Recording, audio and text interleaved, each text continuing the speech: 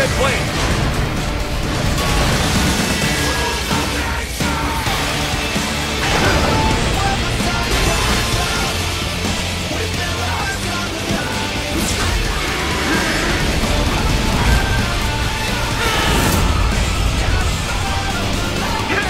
Yeah!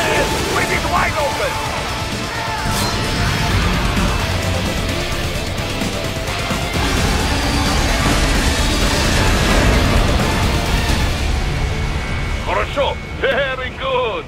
But do not rest easy just yet, huh?